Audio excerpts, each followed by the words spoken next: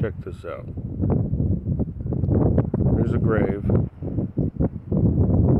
I've been uh,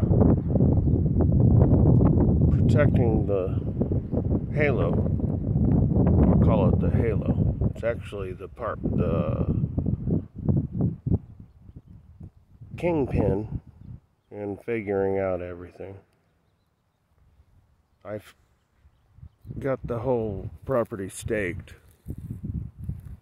Um, it's in the shape of an hourglass.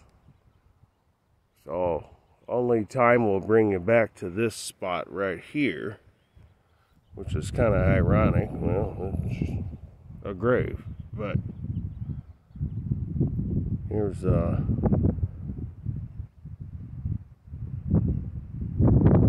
what I've been doing. It's um something you'll have to research. I'll research it for you. But, um, anyways.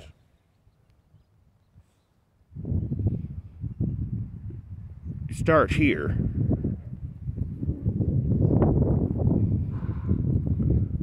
And it goes diagonally to the opposite corner. And when you come back up to the other side, makes a perfect hourglass. We got it staked out over there too.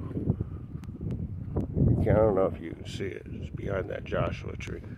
And then I've got this one. And uh, one I go off of diagonally is down there by the pole.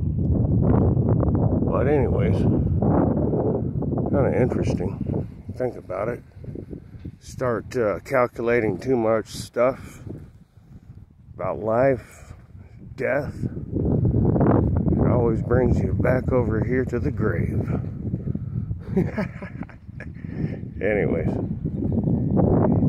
you know me, I'm a little morbid.